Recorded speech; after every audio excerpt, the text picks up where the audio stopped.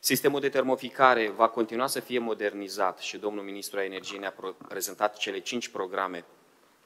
care vor intra în dezbatere publică prin lansarea ghidurilor de finanțare până la sfârșitul acestui an, pentru care noi apelăm pentru două din ele în mod obligatoriu.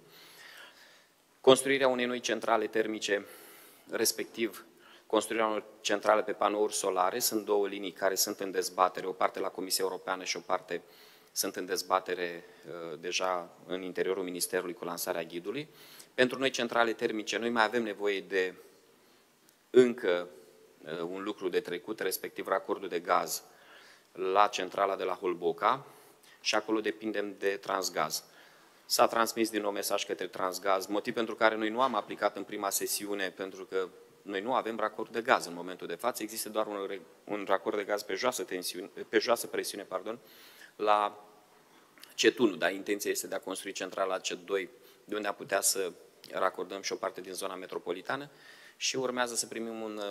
un aviz de la Transgaz să putem depune acest uh, dosar, ca ei în perioada de implementare a proiectului să-și aducă conducta de gaz pe uh, presiune înaltă, dinspre partea de sud a județului către partea din nord, nord pentru că nu ne putem racorda în, în conducta Ungheni, capacitatea de transport a conductei Ungheni fiind în mare parte rezervată pentru Republica Moldova. Deci suntem în prim proces de modernizare, aplicăm o nouă etapă din Poimul pe termoficare, motiv pentru care suntem cu lucrările pe zona Copou și o parte pe zona Bucium și în zona Nicolina și eu, chiar dacă a fost o discuție oarecum chiar uneori contodentă între primării în ceea ce privește susținerea sistemelor centralizate,